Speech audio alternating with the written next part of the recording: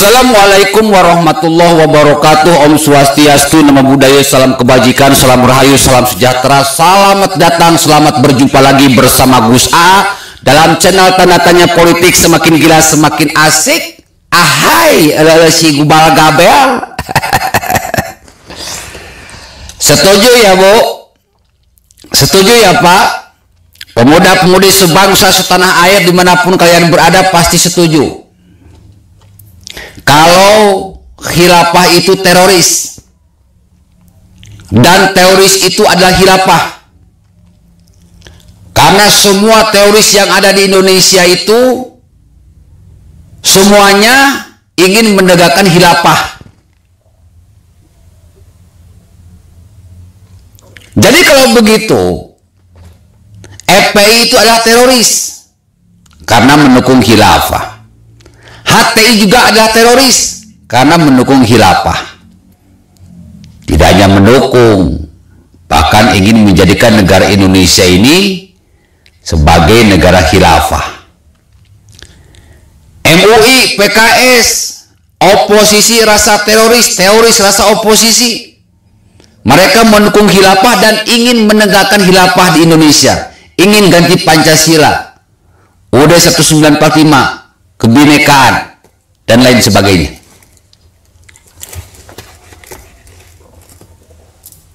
Ancaman sudah nyata, musuh sudah nampak di depan mata. Bahkan pendukung Anies Baswedan semuanya mendukung khilafah dan ingin mengganti Pancasila, OD 145 kebinekaan, demokrasi dan sebagainya. Sistem pengen diganti semuanya. Termasuk Anies Baswedan sendiri. Mendukung khilafah. Ingin menegakkan khilafah di Indonesia karena sudah tekan kontrak dengan orang-orang khilafah. Kalau HTI sebagai aktor utama aktor intelektual penegakan khilafah di Indonesia sudah dibubarkan, maka sudah seharusnya pergerakannya pun dibubarkan.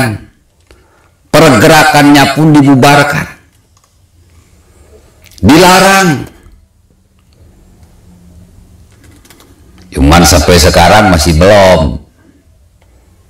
Organisasinya dibubarkan tapi pergerakannya masih seperti biasa. FPI sudah dibubarkan, tetapi pergerakannya masih seperti biasa. MUI belum dibubarkan, PKS belum dibubarkan.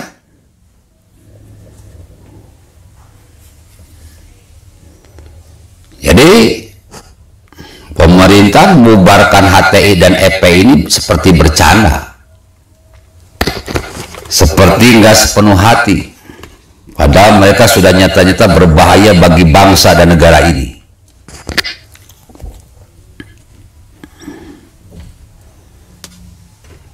Bayangkan bapak-bapak, ibu-ibu hadirin pemuda-pemudi sebangsa setanah air di mana pun kalian berada.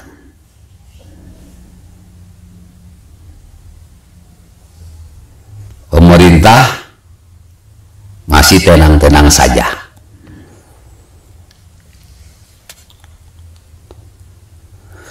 Seharusnya kalau HTI sudah dibubarkan, maka sekolah-sekolah, kuliah-kuliah yang berkiblat kepada HTI dibubarkan juga dong. Bahaya. Nanti kalau the cell of hilafah ini atau the cell of teoris ini semakin banyak, Indonesia bisa celaka bro.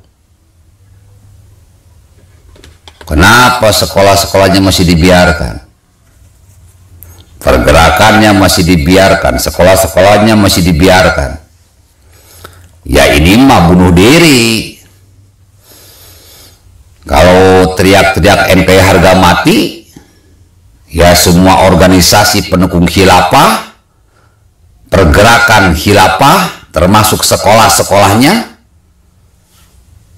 baik sekolah SD, SMP, SMA, kuliahan, kampus, ya harus dibubarkan juga dong. Gampang kok kalau mau serius. Tapi kalau pemerintah masih setengah hati ya sudah, kita rakyat Indonesia akan bubarkan mereka di 2024. Hancurkan Anies Baswedan yang merupakan bonekanya hilafah. Assalamualaikum warahmatullahi wabarakatuh.